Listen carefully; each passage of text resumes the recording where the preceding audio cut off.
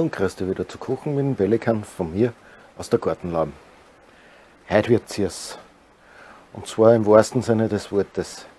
Ich mache heute eine Mehlspeise und zwar eine Mehlspeise, die früher in, unseren, in unserer Gegend eigentlich als arme Leid oder als Restelessen gegolten hat und zwar ein Scheiterhaufen. Wie immer wünsche ich dir viel Vergnügen beim Zuschauen, gutes Gelingen beim Nachmachen und ich hoffe, du lässt mir einen Daumen da. Darf mich wahnsinnig freuen. Das erste, was wir brauchen für unseren Scheiterhaufen, sind Äpfel.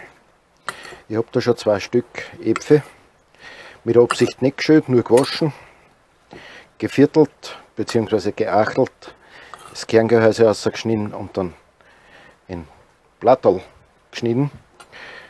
Da habe ich jetzt den Saft von einer halben Zitrone dabei und jetzt kommen noch zwei Esslöffel Zucker und ein bisschen gemahlener Zimt dazu.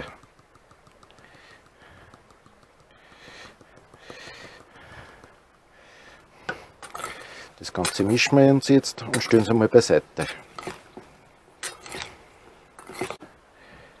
Weiters brauchen wir für unseren Scheiterhaufen einen Aufguss und dann machen wir sie mit einem 8 Liter Milch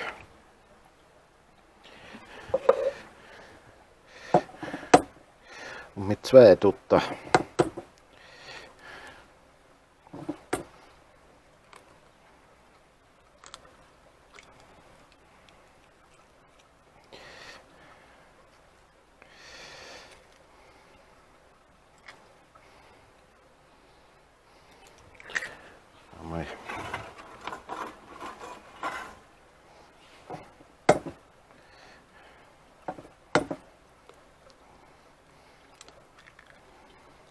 zweimal.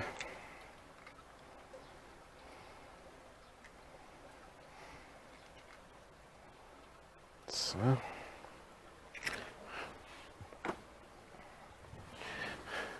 Das Ganze wird jetzt verrührt. Weiter geht's, dass wir anfangen, den Scheiterhaufen zum Schichten. Und jetzt wird da wahrscheinlich klar, warum der Scheiterhaufen Scheiterhaufen heißt. Ich nehme da ein Weißbrot, das habe ich in Scheiben geschnitten. Das kann gern schon ein paar Tage alt sein und äh, trocken. Das macht gar nichts.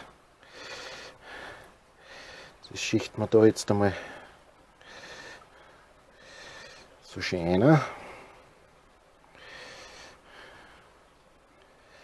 Und geben unseren Aufguss da drüber. Sie haben einfach diese Eidopter Milchgemisch. Da trinken wir jetzt unser Brot damit.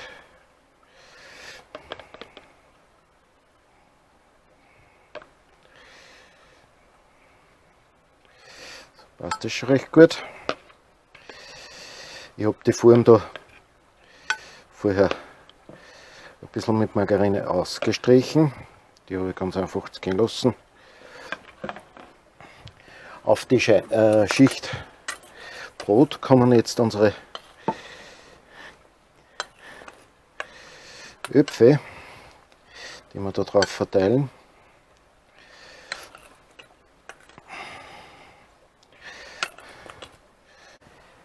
Der Scheiterhaufen ist jetzt fertig geschichtet und egal wie viele Schichten du machst, die letzte Schicht ist immer das Brot und drauf habe ich die restliche Eiermilch verteilt. Und jetzt kommt es ins Rohr bei 170, 180 Grad einmal 20 Minuten.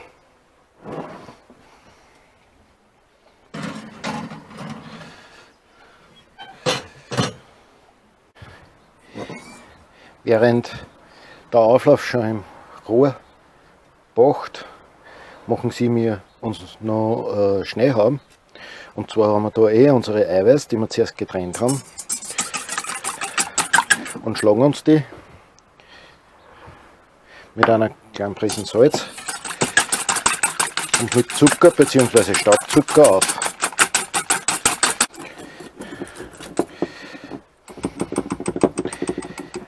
Baisermasse ist jetzt da fertig. Ich habe da jetzt für die zwei Eigler habe ich jeweils 60 Gramm Kristallzucker und 60 Gramm Staubzucker genommen. Das heißt, in einem, für meine Baisermasse pro Eigler 30 Gramm Kristallzucker. Das schlage ich einmal aus und dann zum Schluss tue ich nach und nach noch den Staubzucker unterrühren. Und zwar rühre ich das so lange, bis dass man beim Probieren keine Kristalle mehr zwischen die Zähne spürt. Und das wird jetzt dann unser Schnee haben für den Auflauf. Der Scheiterhaufen war jetzt 20 Minuten im Ruhe und schaut schon wunderbar aus. Und zu guter Letzt kommt jetzt noch die vorbereitete Baiserhaube, Schneehaube drüber.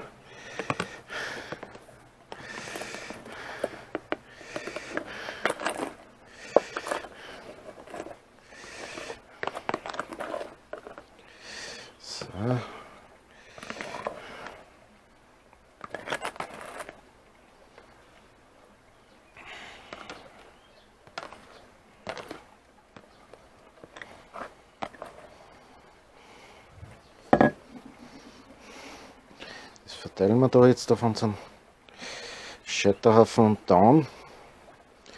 Kommt dann noch einmal für ca. 10 Minuten ins Ruhe, so dass halt die Schneehaube eine schöne Farbe hat. Und schon ist wieder Zeit zum Anrichten. Der Scheiterhaufen ist fertig gebacken. Schauen wir mal. Der, die Baiser haben hat eine schöne Farbe gekriegt. Und jetzt nehmen wir ihn vorsichtig aus.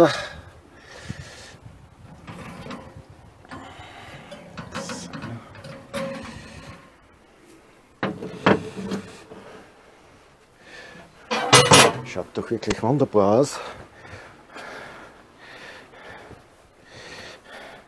Der Scheiterhaufen ist zwar aus der Pfanne, am besten.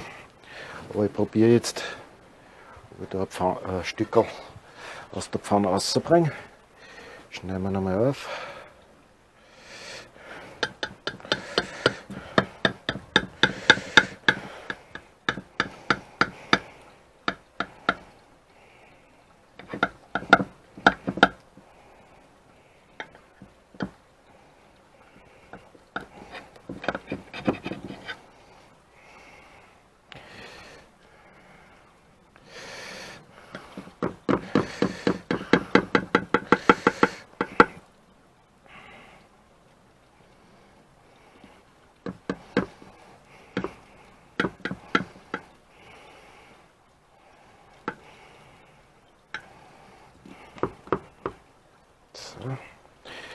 Probieren wir unser Glück.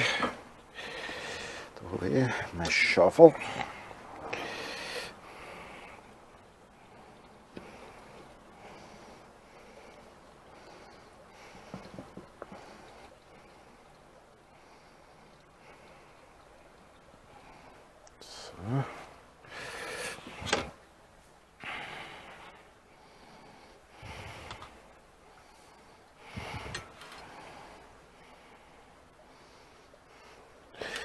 Ist gar nicht so schlecht gegangen.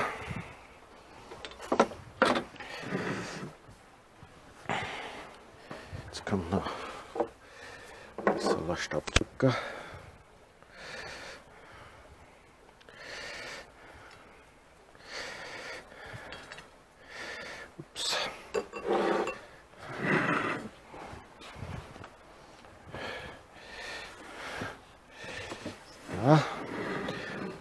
Ist unser Scheiterhaufen fertig.